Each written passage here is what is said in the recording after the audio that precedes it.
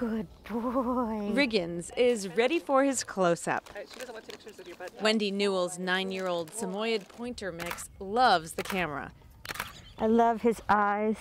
especially when Lori Fusaro is behind the lens. Can I get?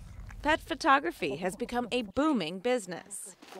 People have become more interested in pampering their pets. Good boy, Ernie. Capturing the perfect picture requires more than just treats and toys. Where's Mama? Photographers say you have to think like your subject. The toy that started everything. Jenna Teti, who's based in New York, uses an extensive written questionnaire to get to know each dog.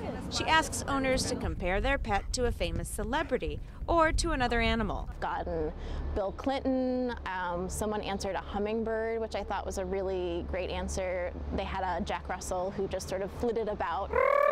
For the dog owners willing to fork over hundreds of dollars for pooch pictures, it's a priceless treasure. Oh, yes. This is Sadie's first time in front of the camera, but Michelle Crampton's second time working with Fusaro. and I'll get a little emotional because shortly after that, Buddy passed away.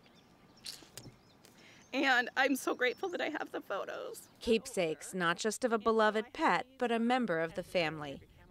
I'm Raquel Maria Dillon, The Associated Press, Los Angeles. Yeah.